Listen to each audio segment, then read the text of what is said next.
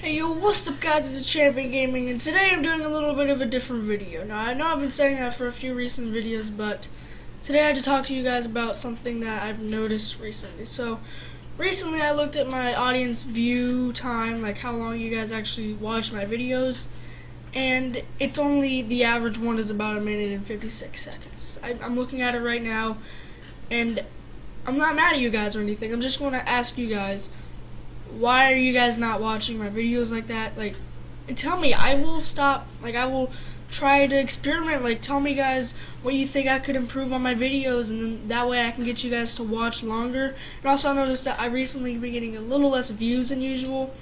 And I mean, it's not a bad thing or anything. It's just, you know, I just want to know so that way I don't let you guys down. Like, I don't.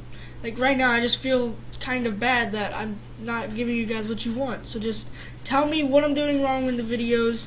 Tell me how I can improve on them maybe. And yeah, hopefully I can do that for the next video. I don't know, but just tell me what you think in the comments section down below. And yeah, if you're wondering what my brother's playing back there, eh, right there, yeah, he's playing Roblox on the Xbox, but yeah guys this is gonna end off this video. I hope you guys do understand me.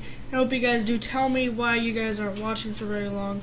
But yeah guys just like remember tell me in the comment section what I can improve on you know so that way you guys um, like will enjoy my videos. But yeah I hope you guys do understand and I also hope to see you on the next video. Bye